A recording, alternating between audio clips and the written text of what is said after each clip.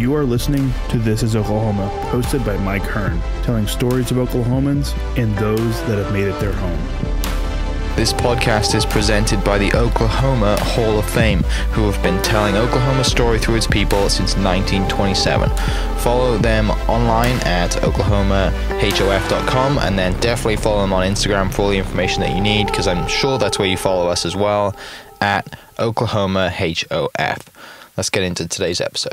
What's up, guys? Welcome back to another episode of This is Oklahoma. Mike Hearne here, host, back with another episode down at Bedford's Camera again. If you're watching us on Instagram, Facebook, and all the YouTube and all that stuff, uh, at This is Oklahoma on every channel, you will see my beautiful guest today, uh, Bailey uh, from Bondi Bowls. Uh, thank you so much for coming down. I we need to settle this now, right? How do you say it, what you do? Because it's a big topic, isn't it? It is a controversial topic. Yeah. We have a lot of people that think it is Bondi. Yeah. But it is actually Bondi. Okay. So it's Bondi Bowls, named after the beach in the Australia. Uh-huh. beautiful beach in Australia, which yeah, I mean I haven't been there yet. It's on the list. Um, but yeah, thanks for coming down on the podcast. Obviously, you have a food truck called Bondi Bowls, um, healthy, very healthy food truck.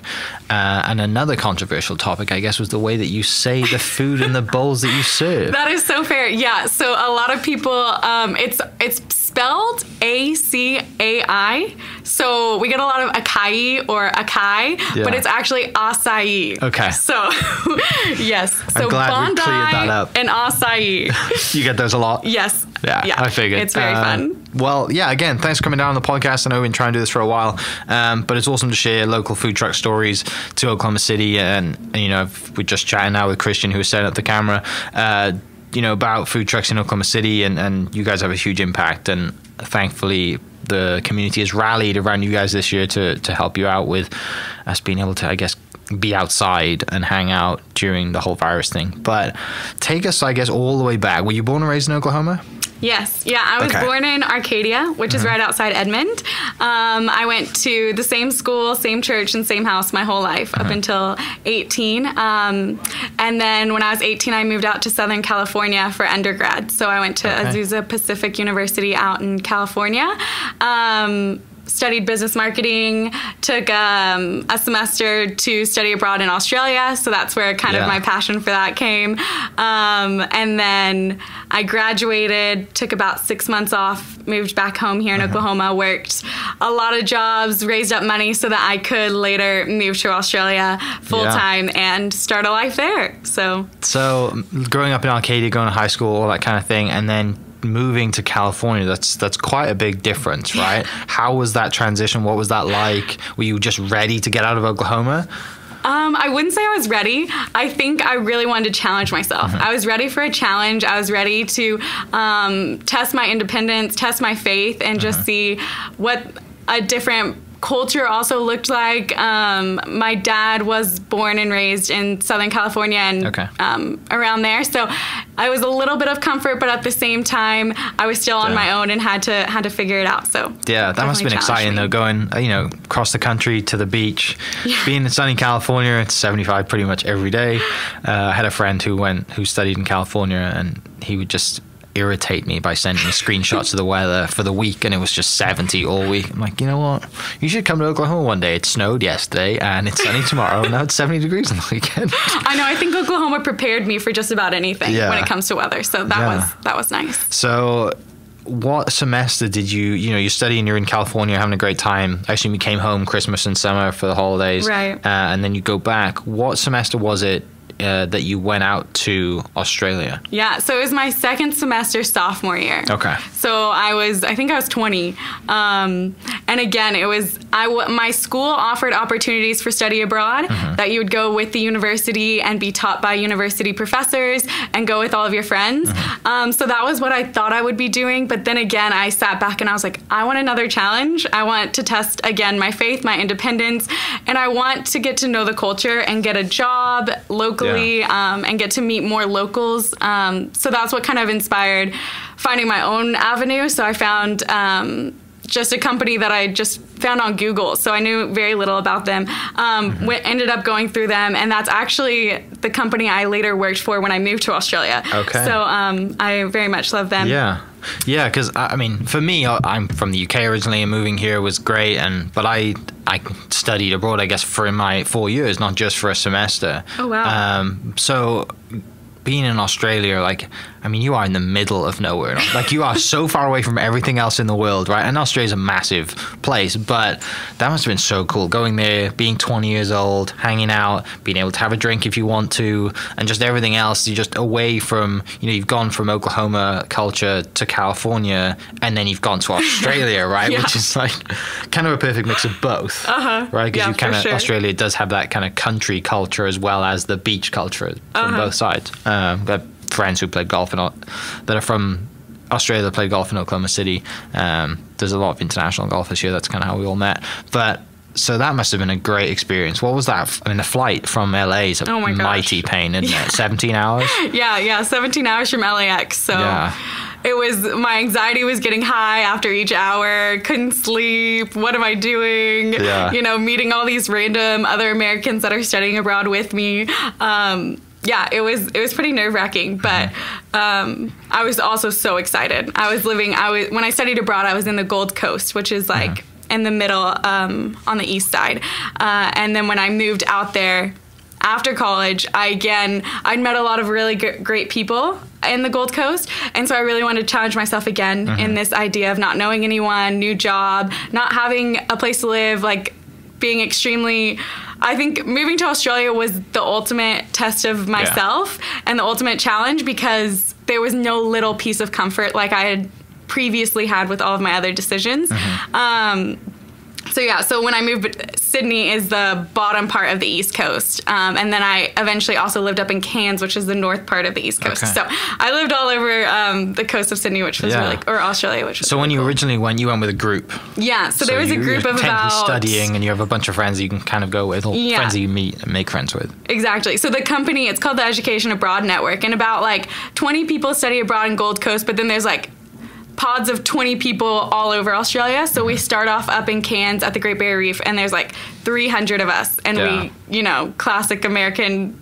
Uh, study abroad experience, um, and then we all kind of break up into our different little states. Yeah. But then we have all these friends in different parts. So then when we visit, we can stay with Sure. these Americans and stuff. So Yeah. that was cool. That uh, have you have you read Matthew McConaughey's book recently? Okay, because he so. he studied abroad in Australia as well, and it's Uh-huh. the part in the book, the chapter in the book about him studying abroad. It's really really funny, um, which reminded me of you know the stuff that you see and the people that you're with, and Oh, just yeah. you know all those great stories that you have. So you're there for a semester, you come home, and at that point, I guess you know that okay, Australia is for me. I can't wait to go back. No. No? So I thought I would stay. I thought it was kind of like, okay, my adventurous Mm-hmm. personality. I got my like fix. I'm good.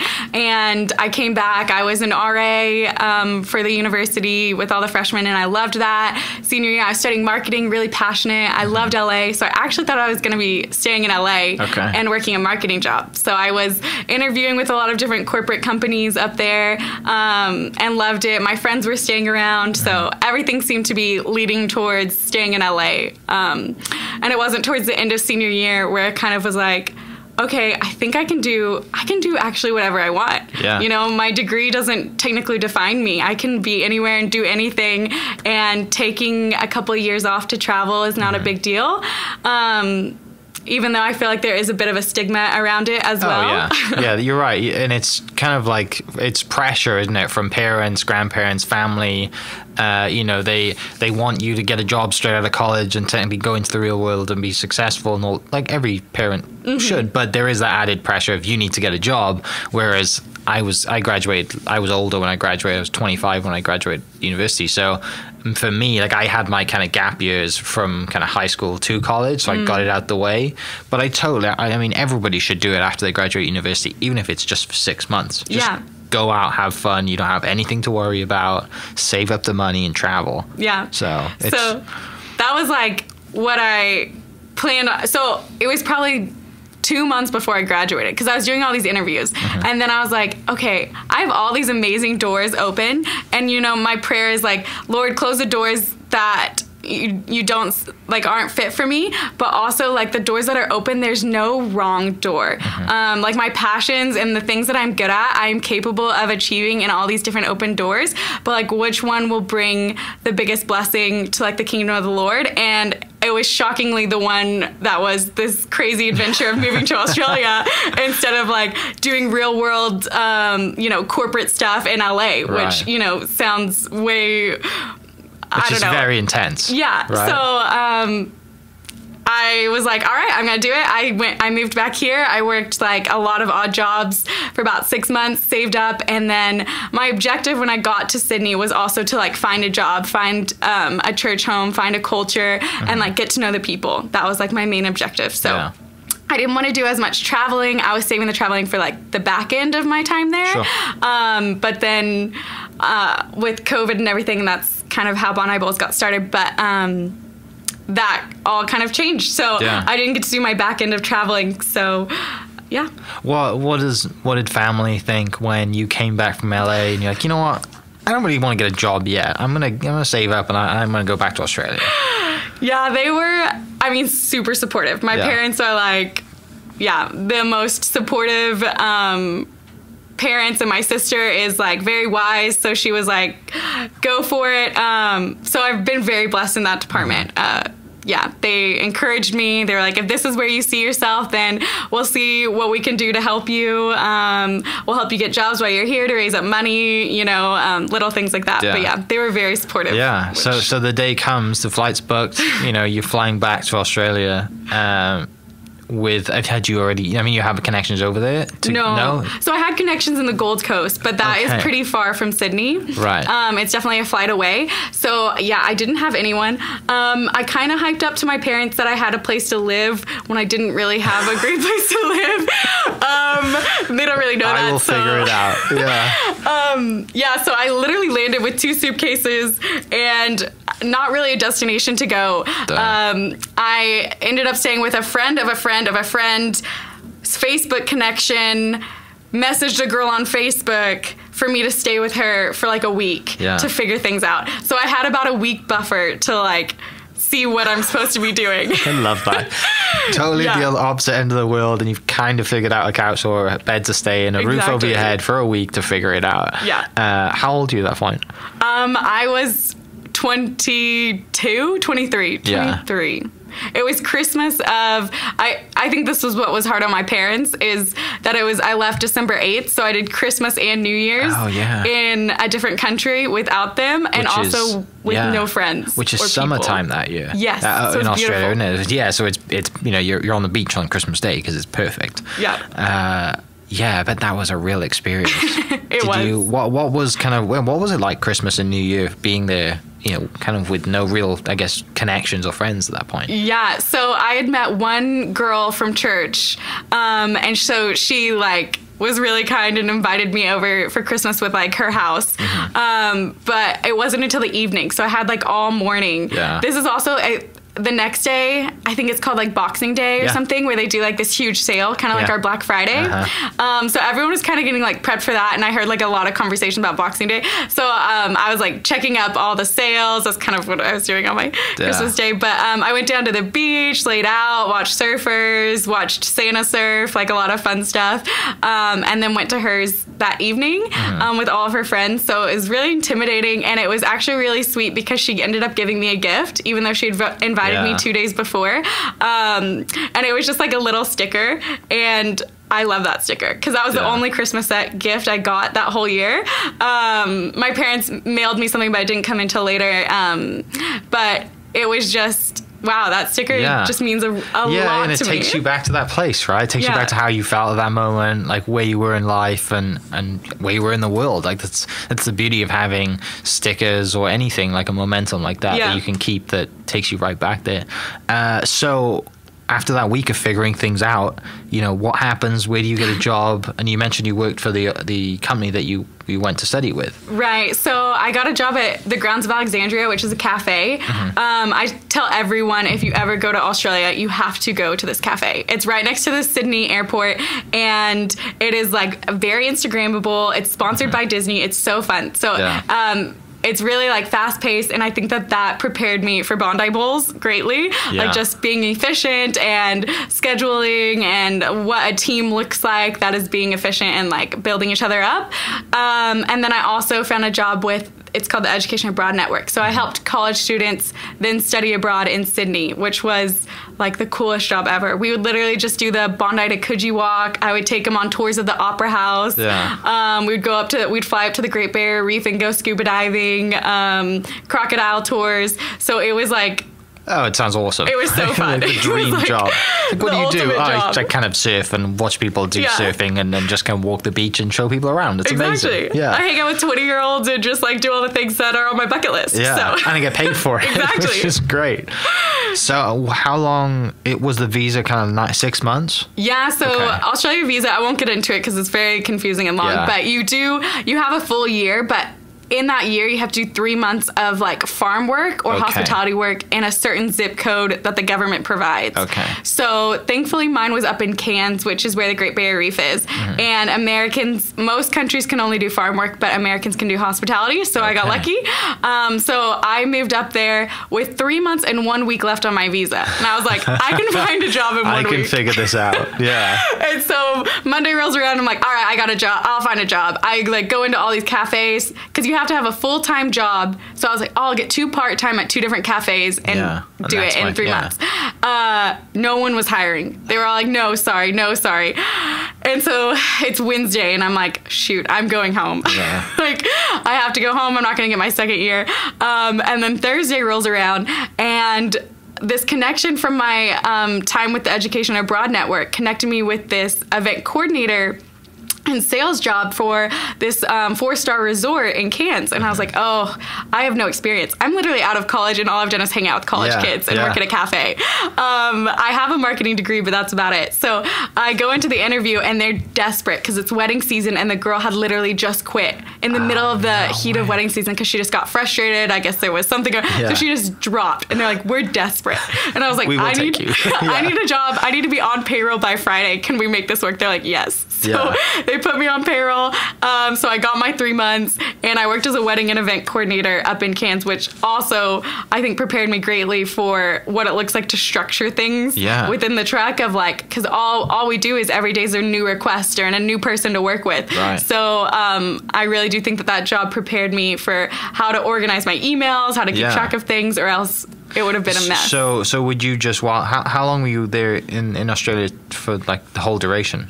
So in total, including my study abroad, it was two years. Okay. And but that later half, it was a year and like four months. Okay, and then that got stopped because of COVID. Correct. So then Okay.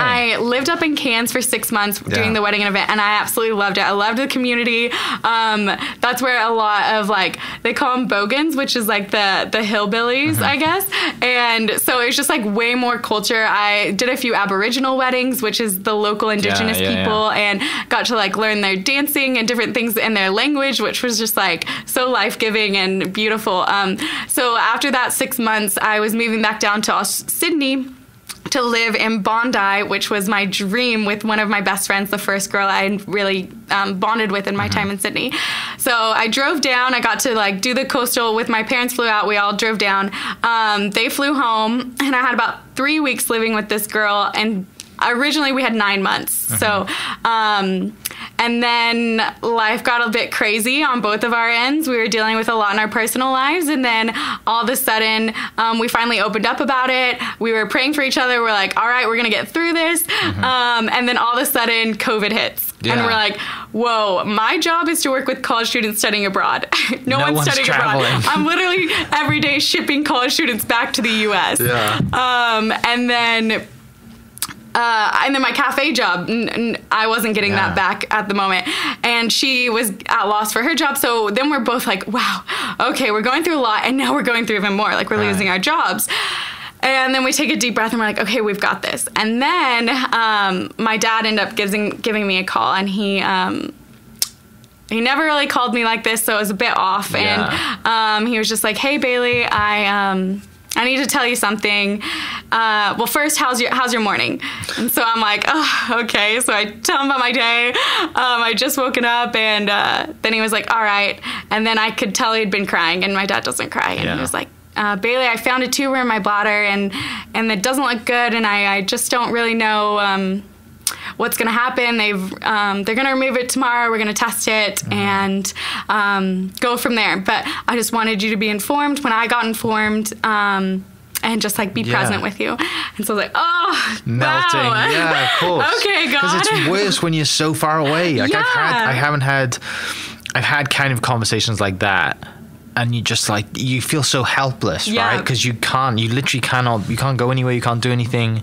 All you can do is pray about it and just be there, right? And just kind of be Yeah. as supportive you can from where you are. exactly. Which just like it, and especially when you're a little younger too, like it rocks you. Yeah, especially when your dad is And your then you- hero. yeah, and you've got all this stuff going on as well, like, Uh-huh. with all like COVID happening and yeah, Yeah. So that was that was real heavy then. So yeah, that hit me really hard. Um, and then on top of that, Australia um, had the power to close all international flights. So international flights ended on a Sunday. Um, my dad called me on a Thursday, Thursday morning. So it was like, okay, well, what do I do? We don't know the prognosis of Yeah. his bla- of, of the tumor. Um, we know it was big. Uh, the doctor said, you know, most likely. So we were we were nervous. We were on edge, and we'd never dealt with anything like this as a family before. So. Um, I immediately like broke down, obviously, and um, ended up having to extend my circle of of people that I was telling about what was going on in my life. So um, that was probably like the biggest and strongest moment. Um, is sitting down with five of my closest friends, four of my close friends, and just like crying and he- hearing them just pray over me and pray over um, the future of my life and my my dad's life and and where the Lord is going to take me in this Yeah. journey and how um, He's going to use it for growth. And oh my gosh, it's been nine months since, and Yeah. I could tell you about all the blessings that have come. Um, but it was so hard in that moment. So. Um, then I woke up the next day, packed everything, flew home because the cheapest flight was on the Yeah. the later um, the Friday. So um, in literally 24 hours, my entire world had tumbled and twisted um, and i was now back in oklahoma. I um, my dad got a call the moment i landed in denver. He called me and was like hey bailey i, I know like you probably want to hear this when you're with me but um, it is like stage zero it is non-invasive cancer so we're just going to be doing a whole bunch of treatments and we're going to get through this and so i was like praise the lord like answer to prayer like the greatest blessing but also i'm sitting here in denver you know like oh i, I kind of wish i had stayed in Australia and gotten that phone call and been like, wow, yes, Lord, thank you for Right. providing when I'm not home. Um, but I know that it was really, an, I know that I was supposed to be back. Right. But it was really hard. That first month, I was going through a lot of why did you bring me home, Lord? Right. Why am I back in Oklahoma um, when I feel like I could be doing more and I was growing more when I was in Australia? Yeah. Um, I don't want to be here. I want to be there. Yeah. type of thing. Before you get that phone call from dad and before like COVID happens, what were your plans? Like what I mean, your plans I assume to stay as long as possible in Australia and have a life in Australia. Yeah, so I I still had nine months left on my visa, Yeah. and I had already been talking with my study abroad company about getting a visa that would extend my time there so that I could stay. So um, companies can sponsor you and things like that. So um, I was working with that company, and they were being like very kind, um, which is unusual for Right. for companies like that. So they they liked me, I loved them, and we had a really good relationship. So yeah, there was kind of a talk of getting me to stay past that second year. Yeah. Um, and then again, I loved my community that I had created. Um, we lived right, literally right on the beach. Yeah. We spent a lot of money, me and one of my friends, for a tiny studio apartment. It wasn't even like. 800 square I mean or 300 square feet I can't even remember Size of it this was room? it was definitely smaller than this room Yeah. I think it was probably where the camera is over there Okay. um, it had a bathroom, a tiny bathroom. We just had two little beds and a kitchenette, and we lived. Lived but we the lived dream. in Bondi. Yeah, you yeah. lived the, we you're, like, walked to the literally beach. the best place in the world, right? Like one of the best places in the world. Yeah, and my my roommate was a runner, so we would run the Bondi to Coogee. We were doing great, Mm-hmm. and then actually the the place that inspired Bondi Bowls was right across from my apartment. It was this. It's called Fruitologist, and it was a tiny little hole in the wall that just sold acai bowls, Yeah. and that was all they sold. That's so and cool. there was always a line that went so far and i was like i love that i would wake up we would do our run and then we'd come and get bowls and coffee and that was like me and my roommates morning so um that was kind of like the inspiration for Bondi Bowls. But yeah, so I, I plan to stay the nine months, plan to work with college students and to like have odd job cafes Yeah. and go from there. So So yeah, that that's where the the inspiration comes from. Then that place that you guys would literally go to every day, have coffee, hang out, and I guess from that point you probably realized that you didn't have to have a massive spot. You just had to have a building or a truck or a, a- just something that created. It was it's more about the food, right? It's about the kind of culture as well, isn't it? And before that moment, were you kind of really into that kind of style of food? Because it didn't really come to the states, did it? The, Right. the acai bowls, they weren't. I mean, I'm sure you could find them, but they weren't what they are now, right? It's kind of it is. It's kind of you know everyone knows what it is now. right. So yeah, what was that like? Yeah, um, it was like the start of Bondi Bowls primarily was more. I named it after because of the time in Bondi wasn't finished, and my love for adventure, my love for Bondi, like wasn't finished. So that's kind of where the name came from. But I came home and I was immediately started making them for my dad because of all of the health benefits. Yeah. I like wouldn't say I live the healthiest lifestyle, but I definitely am mindful of things like especially Mm-hmm. in like seasons that my dad was going through of being mindful of that so so many um, health benefits immune boosting antioxidants my dad also you know works in the hospital so i was feeding him you Yeah. know he was going through treatment while working in the hospital with covid going on and um, he's a bit older so you know feeding him anything and Oh, yeah. everything i could give him um, and he loved them and i think the moment that my dad enjoyed it um, like this big meat dude you know was Right. like oh these acai bowls these fruit bowls are pretty good you know i was like okay i think Yeah. i think oklahoma could jump in on this too if my dad is jumping in on this Yeah. um and so that's kind of what inspired okay but it's covid you know i came home Mm-hmm. so i came home a month of like what's happening i was really sad Yeah. and was um this February, March time? yeah, I moved back. I think it was like March 17th. Okay. Is when I moved back. And so, um, and I ended up buying my food truck April 23rd. So this is like Wow, how quickly all of this happened. Yeah. So March 17th, I'm home. I'm sad. Um, I was, it was just like really hard on, on my life. And I was making, so I was making a lot of bowls for friends and family and, and my dad. Mm-hmm. Um, and then, uh, me and my mom were sitting down and we were like, I was applying for all these jobs. I was applying for sales jobs, marketing jobs, anything that I could find. Nobody's find. hiring. No one's hiring. They're like, oh, we'll interview you in November. And Yeah. like, okay, that's a long time for me to be sitting here. Yeah. Um, so then I was like, okay, I love creating things. I love um, like working with my hands, and I can't sit around. So what what should we do? And my mom kind of like casually was like, why don't we just like get a food truck? And like you serve all this stuff that you're serving for all your friends instead of them coming to you, why don't you go to them? Yeah. And I was like, you're so right. Yeah. That would be so fun. So literally, um, I think it was a Tuesday. She came. She like just name dropped a food truck. Um, Friday we went and toured like four food trucks, and Saturday I asked if I could buy one of them, and Sunday we went and picked it up, and Yeah. then like a week later we um, had like most of the stuff, and then a month later we did our grand opening. Oh, it's, I love, yeah. And well, looking back, right, at like, you know, flying to Australia, not kind of fig- not knowing where you're going to stay, or like there's little things of, and like you said, it, it's what you've done leading up to this point has forced you to act on your feet and figure things out, right? And that's like diving into a job that you've never done before with wedding event planning. It all comes to this moment, right? Because you've like when you look back at it, like, oh yeah, of course I can do this because I've been doing it in other uh, you know a- aspects of my life this whole time. And then you get this truck and you know you're like wow i actually have something now right? Then i'm sure your mind goes crazy and like marketing mind is working right? Business plan there's no bondi there's no acai bowl trucks around. Some of the stores might be selling it but it's Uh-huh. not. And you are like basically the first person to bring that to oklahoma city Yeah. which is really really cool to think about that I know. right? Yeah. Wow. I, I think I agree in the fact that all these little moments of pushing myself past my boundaries and saying like, okay, I, I, f- I cannot Mm-hmm. do this. I cannot move to Australia with nothing. This has to be Yeah. purely based on my faith and like my the things that I've grown up and like the way my parents have raised me. Um, but a lot of it, I mean, it all goes back to just like how the Lord grabs me and says, "Let's do this together." Yeah. Like you're right, you can't do this. You know, you've only have a week. You can't. You can't. I have. I'm right here. I'm holding you, and I'm gonna Yeah. get you through this with you.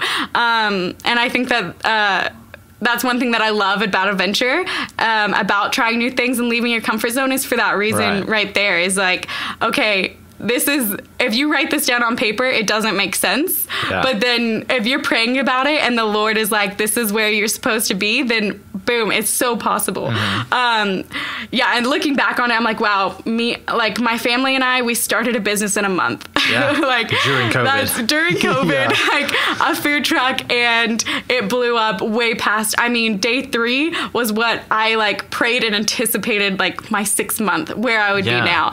Um, so the Lord was definitely like, you do this and like let's run with it. And uh-huh. he just like blessed it. I was am hiring employees after four days. I you know was trying to figure out how to keep track of all these things. And that is from all my experience uh-huh. back in in australia which if i would have stayed in la and and done what i thought i should Yeah. be doing when i graduated i don't think i would have had the steps and the preparation and um, the preparedness that i do because of my uh-huh. my time abroad. Yeah, and it's something that it's hard to explain to people who've never traveled, right? It's Yeah. it's something that it's like you have this just kind of ability and you know that you can do something because you've experienced travel, because you've been on your own and been to another country and it it sounds weird to say it, right? But just by going to another country on your own, you grow and you're aware that you can do so much. And then you mm-hmm. come home and you're like, oh, I can do that. Why, why would I not do that? It's, it's, you know, if I can go halfway around the world and be on my own at the age of 22, then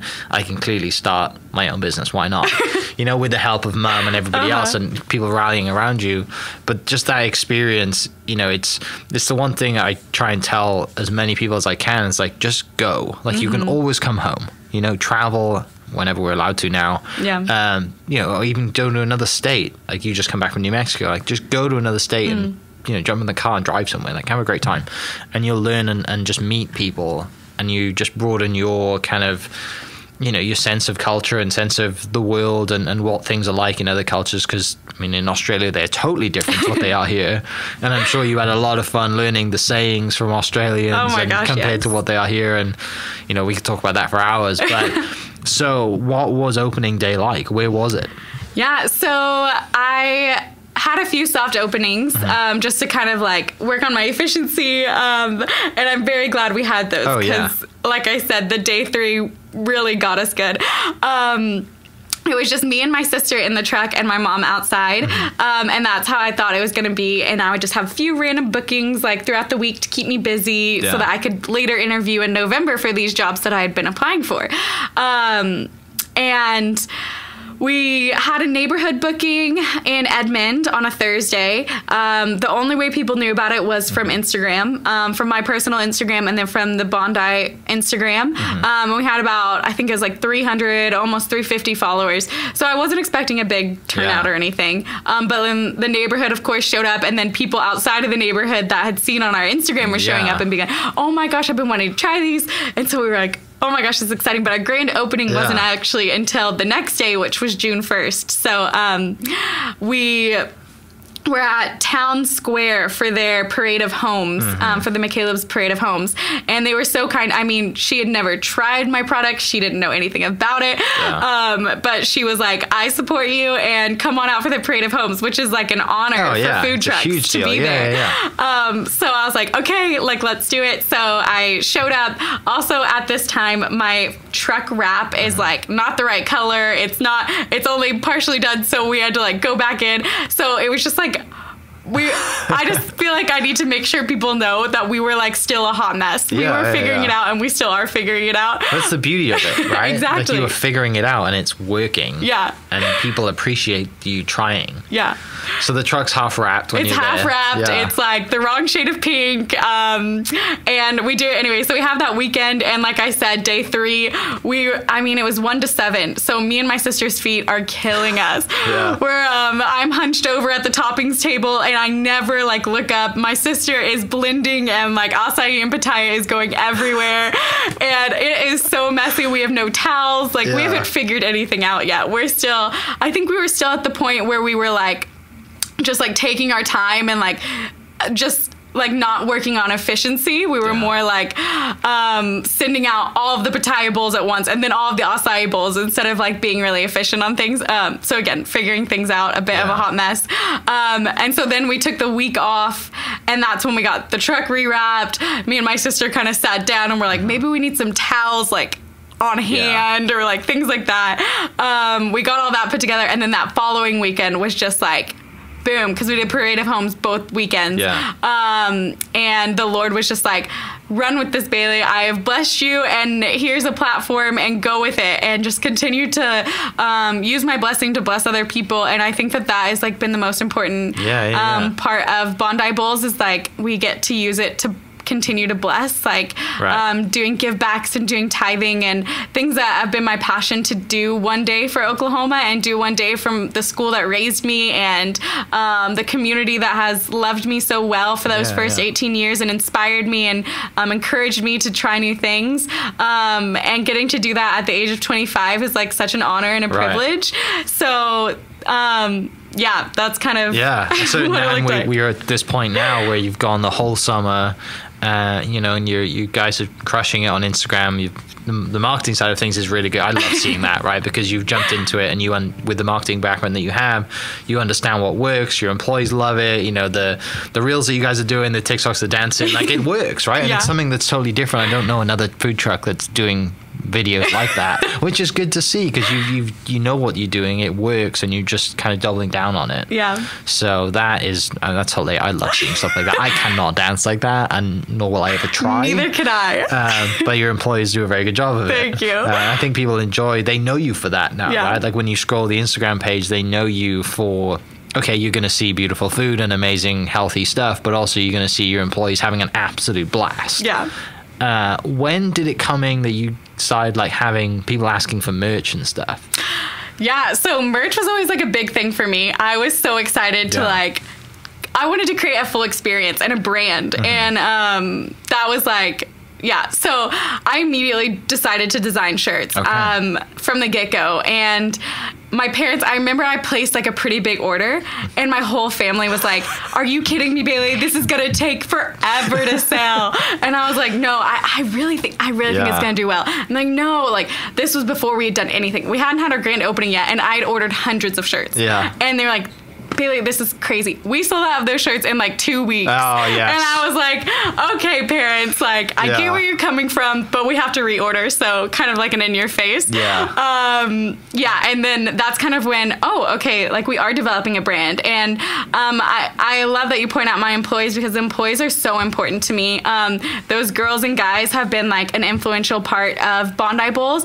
And they were like, okay, Bailey, can you do hats? Like, what about Yeah. stickers, you know? Or like, can you move this shelf over here for better efficiency and things like that? They've really been such an important part of this business and like helped grow who we are today. Yeah. Um, and I love that they've bought in and been like, this is my business too, because Mm-hmm. it is so much bigger than than me. Bondi Bowls is a brand that's growing. Yeah. Um, we've already franchised. We have two more trucks coming out. really? Yeah. So oh, congrats! Amazing. Thank you. Um, we have another one. So um, I have another one here in Edmond Yeah. that will be taking over just because our booking numbers have like grown immensely and I'm not able Yeah. to do a lot. So she's gonna be taking over and I will be doing the like other bookings. And then we're actually gonna be in this. I haven't like told really anyone, but we'll be in Fort Worth. Yeah. we'll be in Fort Worth, Texas. Amazing. So she signed the other day, getting her truck all wrapped. Um, and so I'm very excited How for good that. is that? Isn't like it in, crazy? in literally like from June first to now. Yeah.